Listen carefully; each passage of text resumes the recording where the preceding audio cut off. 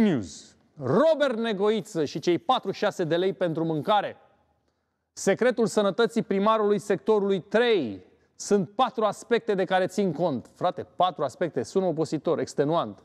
Robert Negoiță. Am mai puțin de 70 de kilograme. Așa.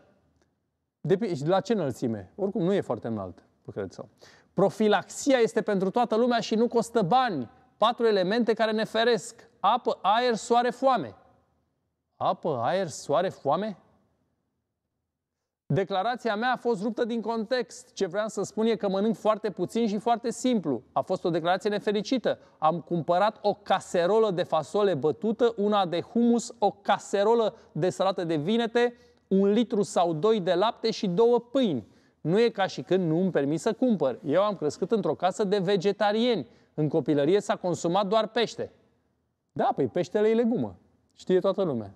Deci cum e? Și că eu am crescut într-o casă de vegetarieni, în copilărie s-a consumat doar pește. Ok. Mănânc foarte rar carne, pentru că consum fasole.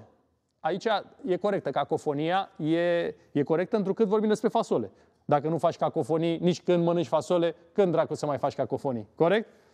Da. Pentru că consum fasole. Corect. Care conține proteină. Conține, nu proteine, proteină. Asta e una singură. Fasolea este alimentul care îmi place cel mai mult. Dacă aș putea, aș mânca numai fasole. Și ce vă reține?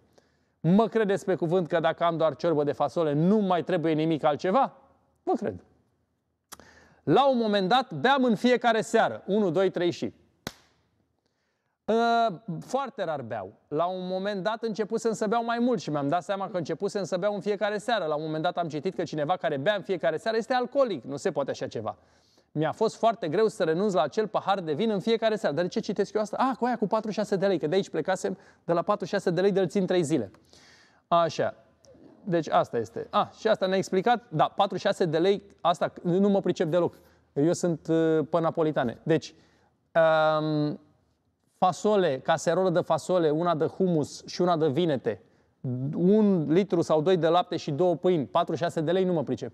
Cu ți se pare? În regie? Sună corect? Mă rog, în sfârșit. Ok, ați aflat, deci, ar fi mai scump, nu? Bun, uh, acum bun, trecem mai departe. Am elucidat uh, și secretul sănătății primarului din sectorul 3, apă, aer, soare, foame. Asta e.